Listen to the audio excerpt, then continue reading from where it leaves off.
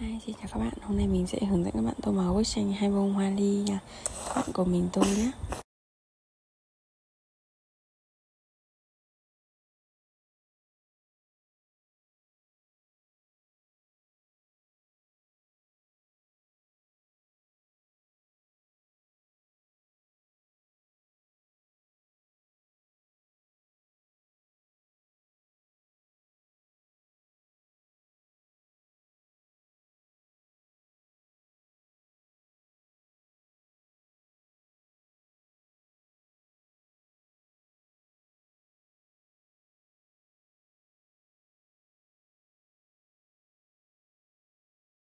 Nhị hoa, mình tô màu vàng.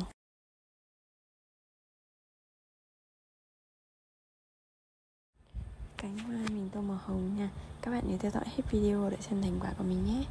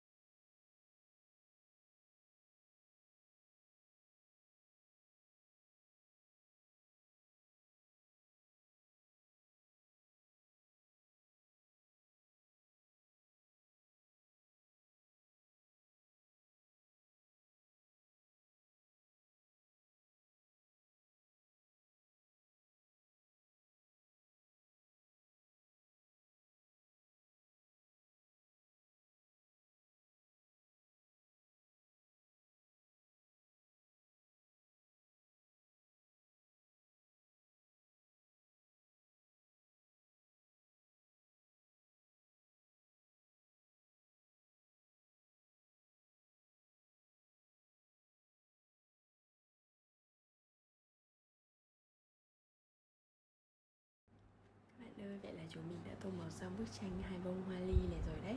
Với cách tô màu này của mình, các bạn cũng có thể tham khảo để tô cho bức tranh các bạn nhé.